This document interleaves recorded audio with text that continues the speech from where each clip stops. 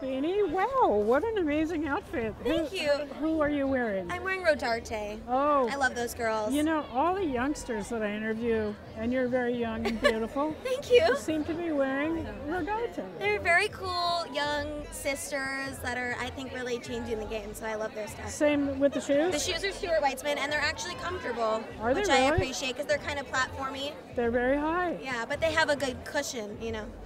You're adorable. Thank you. I, ha- I haven't seen Booksmart. That's okay. It's on Hulu now, so if you happen to have Hulu, you can watch it there. How did you grow the most doing that movie, personally? Oh, that's a great question. Um, I was really intimidated by my character because she's very uh, strident and unapologetic, and not necessarily like easy to like uh, when you first meet her because she's just so fierce and her wants and her needs, which I so respect.